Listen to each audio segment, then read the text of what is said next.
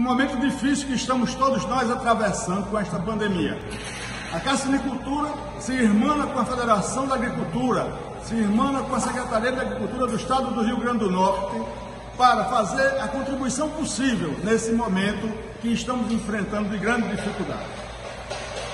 Pois é, pessoal.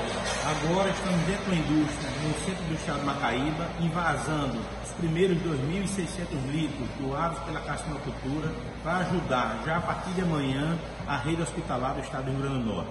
Está indo álcool para todas as regiões do nosso estado, contribuindo nesse momento da crise para juntar todos os esforços do setor produtivo, o governo do estado, a Secretaria de Saúde, para que juntos possamos vencer essa crise do coronavírus.